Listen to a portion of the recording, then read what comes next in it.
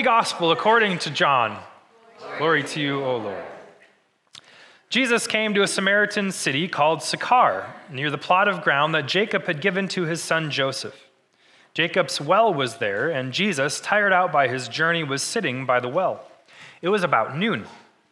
A Samaritan woman came to draw water, and Jesus said to her, Give me a drink. His disciples had gone to the city to buy food. The Samaritan woman said to him, How is it that you, a Jew, ask of a drink of me, a woman of Samaria? Jews do not share things in common with Samaritans. Jesus answered her, If you knew the gift of God, and who it is that is saying to you, Give me a drink, you would have asked him, and he would have given you living water. The woman said to him, Sir, you have no bucket, and the well is deep. Where do you get that living water? Are you greater than our ancestor Jacob? Who gave us the well and with his sons and flocks drank from it? Jesus said to her, Everyone who drinks of this water will be thirsty again, but those who drink of the water that I will give them will never be thirsty. The water that I will give them will become in them a spring of water gushing up to eternal life.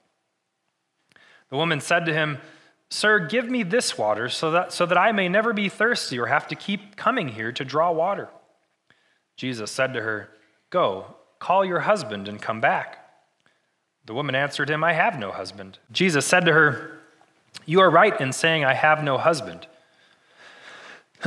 For you have had five husbands, and the one you have now is not your husband. What you have said is true. The woman said to him, Sir, I see that you are a prophet. Our ancestors worshipped on this mountain, but you say that the place where people must worship is in Jerusalem. Jesus said to her, Woman, believe me. The hour is coming when you will worship the Father neither on this mountain nor in Jerusalem. You worship what you do not know. We worship what we know, for salvation is from the Jews. But the hour is coming and is now here when the true worshippers will worship the Father in spirit and truth, for the Father seeks such as these to worship him. God is spirit, and those who worship him must worship in spirit and truth. The woman said to him, well, I know that Messiah is coming, who is called Christ. When he comes, he will proclaim all things to us. Jesus said to her, I am he, the one who is speaking to you. Just then his disciples came. They were astonished that he was speaking with a woman, but no one said, What do you want? or Why are you speaking with her? Then the woman left her water jar and went back to the city. She said to the people, Come and see a man who told me everything I have ever done. He cannot be the Messiah, can he? They left the city and were on their way to him. Meanwhile, the disciples were urging him, Rabbi, eat something. But he said to them, I have food to eat that you do not know about. So the disciples said to one another, Surely no one has brought him something to eat. Jesus said to them, My food is to do the will of him who sent me and to complete his work.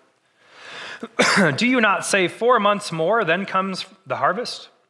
But I tell you, look around you and see the fields are ripe for harvesting.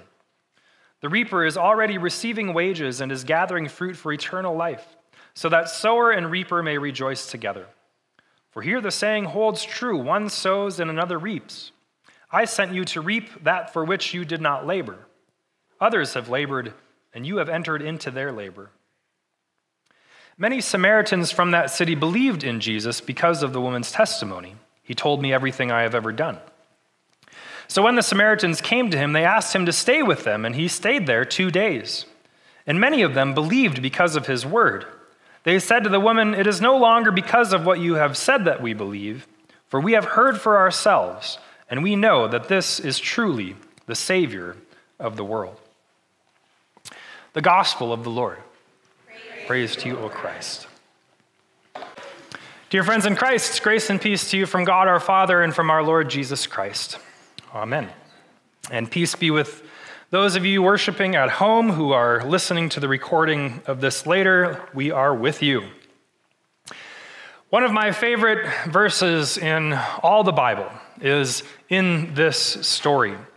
And it's the verse that our Wellspring ministry here at Trinity, uh, for newcomers, um, it's the verse that that ministry is named after, and it's verse 14 where Jesus says, The water that I will give them will become in them a spring of water gushing up to eternal life. Some translations say, The water I, will, I give them will become in them a wellspring gushing up to eternal life. And I chose it for wellspring, that name, uh, in that verse, because of its connection to baptism, uh, the, the waters of baptism becoming a wellspring of life gushing up within us. Often those journeying in wellspring are journeying toward either baptism or affirming or renewing their baptism. I also like this uh, verse because it's an image of discipleship.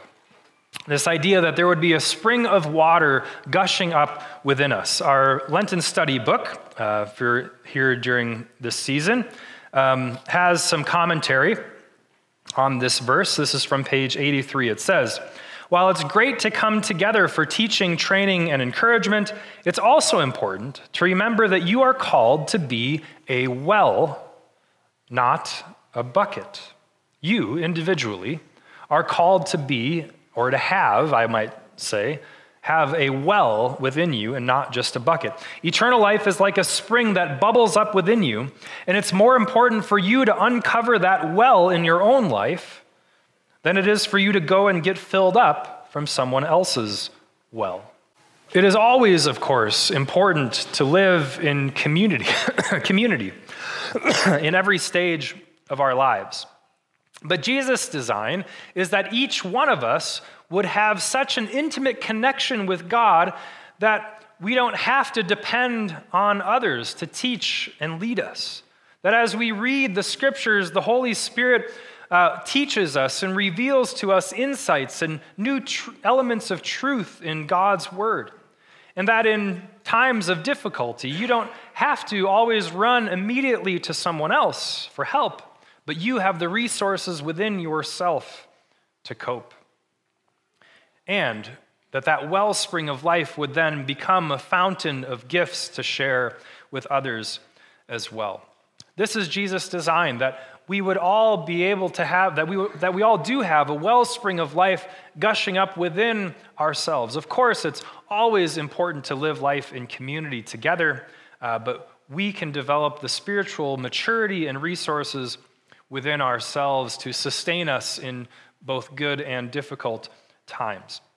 Now, it's not that we should all be at this level of maturity immediately in our walk with God. This is a goal, uh, something to move toward in our relationship with God. The question is, how do we get there?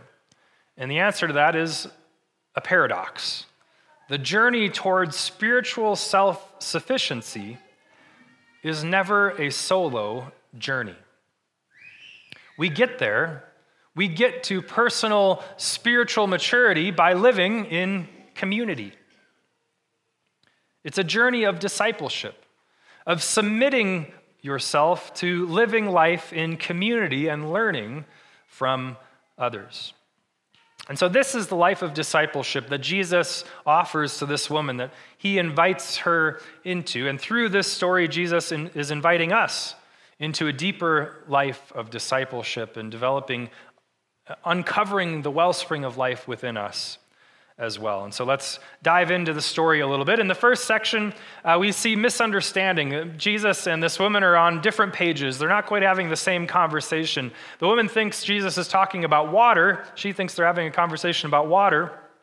And uh, Jesus is talking about something different. And often, when we first encounter Christ, when we first uh, interact with Him and, and hear uh, the message of Jesus, we don't quite understand what he's getting at or, or, what he's all about, or we might have slight misunderstandings as to what the message is all about.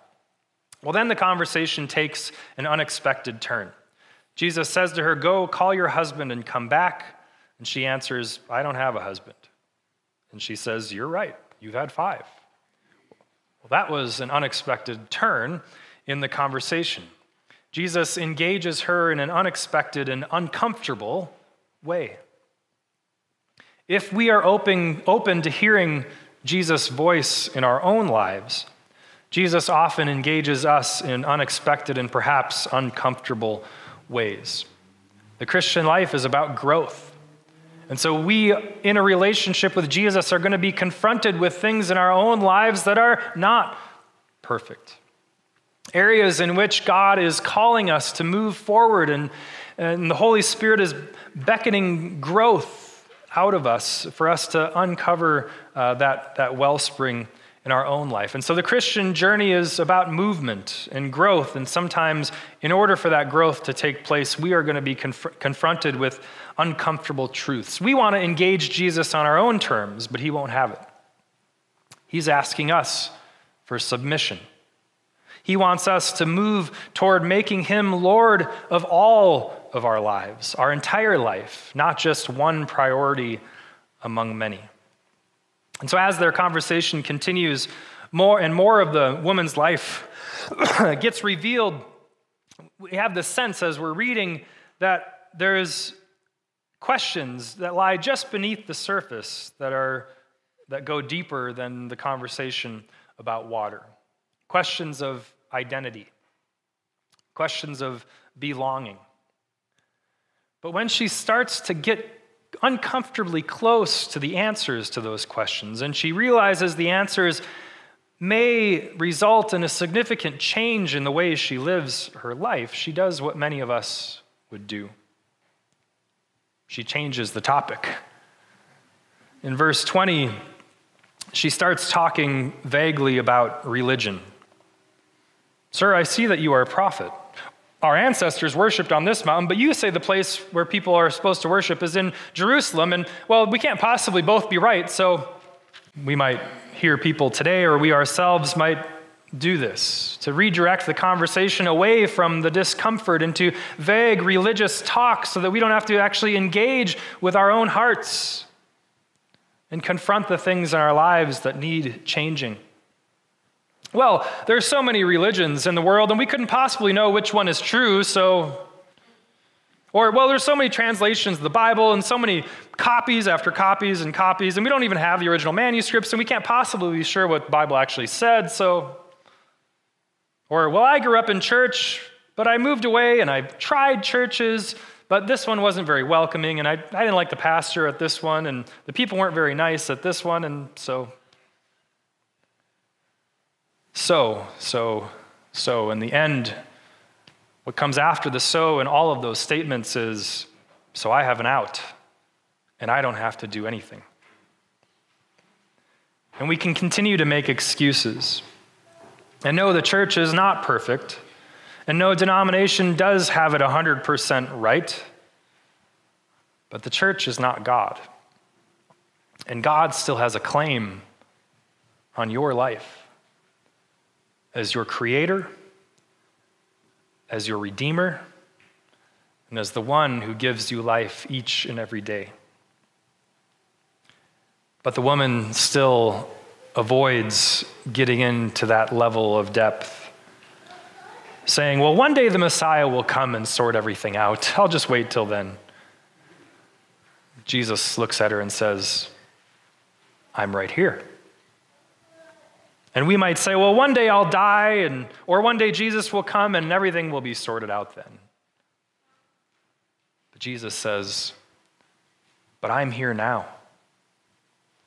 And I long to be in relationship with you now. I long to lead you to grow into the person that God has made you to be. I want you to grow as my disciple to uncover that wellspring of life gushing up within you. And the way to do that is by living in community with my imperfect, on the way to being redeemed, sometimes very frustrating church.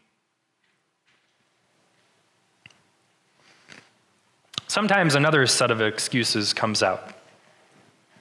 The feeling of, well, God wouldn't possibly want me. I'm nobody special. Or, well, you don't know what I've done. God couldn't possibly forgive the things that are in my past. Well, in the context of this story, historically, everything about Jesus even talking with this woman is wrong. She's got multiple strikes against her in the culture of being worthy of being addressed by a Jewish rabbi. First, she's a woman. And unfortunately, in this historical context, that meant a strike against her already. There were all kinds of bad reasons why men and women didn't interact in public one on one. The fear of, by men of the risk of impurity, according to Jewish law, in interacting with the woman, and a fear of, of gossip, what will those in the community think? a fear of immorality that comes from, came from scapegoating women as the cause of that immorality. So that's the first strike against her in this culture. The second strike, she's a Samaritan. Um, we, won't, we don't have time to get into all of the reasons that Jews and Samaritans didn't get along, but one rabbi in the ancient world said that a Jew should not even be touched by a Samaritan's shadow. That's the disdain that they had for Samaritans. And it wasn't because they had a coronavirus or they were maintaining social distancing. It's sad the way we can create divisions among ourselves with any difference we can find, including racial and ethnic differences. Finally, the third strike against her was that she was coming to draw water in the heat of the day. This shows that she had deep shame in relation to the other women in her town. The typical way would be for all, all the women to come together at, at dawn, at the beginning of the day, to gather the water they needed for the whole day so that they wouldn't have to come in when the sun was high and the heat was in the middle of the day. And so she has deep shame in relating to those in her community, probably having something to do with these five husbands that she's had. Well, Jesus crosses all of these man made boundaries. And yes, in this case, I do literally mean man made boundaries in order to call this woman into God's family.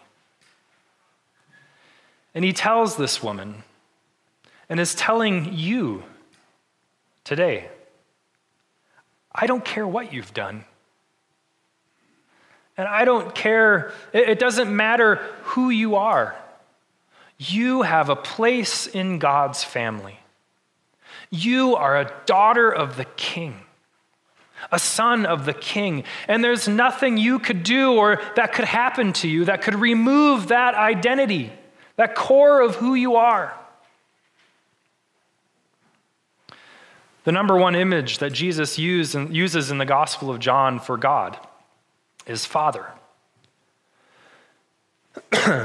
for Jesus, God is a loving parent. God's identity is not lawgiver, law keeper, law enforcer. God's identity is loving parent, loving father. And so asking, well, how could God still love me? How could God forgive me? Is sort of like asking, how could my moms love me? How could my mother love me? And yes, I know, I realize that some have had broken relationships with their parents in the course of their lives. They haven't always felt that parental love, but we still have that inherent expectation of parental love, which is why it's so devastating when that relationship is broken. And so, even if we have experienced brokenness in relationship with our earthly parents, we still have an inherent understanding of what the, that relationship should be or could be. And that's what it is with God, the ultimate loving parent. Many people in these coming weeks might be spending more time with family, certainly than they had expected, maybe than they ever wanted to. Hopefully, they have relatively good family relationships so that time will go well. But if not, maybe this will be of some encouragement. The questions of belonging and identity, like those that are just beneath the surface in Jesus' conversation with the Samaritan woman. Those questions at the core of who we are are not sufficiently answered within the traditional nuclear family. We need something more. We long, if you, if you really look into the depths of your hearts, you'll see that you long for something more that can't be met in just the traditional nuclear family. As great as families can be, they don't satisfy our longings completely. And if we attempt to find our ultimate fulfillment in those relationships, we look to our family for something it was never meant to provide. We need something more. Our true identity and a true sense of belonging and true purpose for our lives can only be found in our relationship with God. In a life lived as a disciple of Jesus, a life lived as part of God's wider family, a family on a mission. And you have a place in that family. So, how will your story end? We see the end, or at least the next part of this woman's story. Her heart was softened by Jesus' offer of living water, by the revealing of who he was. And she stopped making excuses. And then she couldn't help but become a witness, telling others about him and about how he had transformed her heart, how she was finding identity and belonging and purpose in him. So, what about you? Will you drink of the water that Jesus gives? And let it become a wellspring within you, gushing up to eternal life. Amen.